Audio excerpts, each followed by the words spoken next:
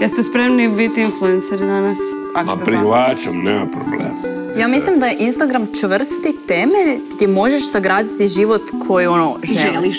Možete prestati glumiti da čitate Vidi se samo ono što ja želim staviti. E, super, odlično. I share.